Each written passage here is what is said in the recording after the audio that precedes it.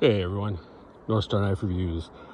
Out here doing a little cross-country skiing this morning. Uh, actually, first time in a number of years, but uh, have a little Schrade with me. Realize I have never reviewed this, I don't think, so I'm gonna have to remedy that. Maybe one of these coming Fixed Blade Fridays. Hope you guys are having a good weekend. Get outside, have fun. Talk to you later.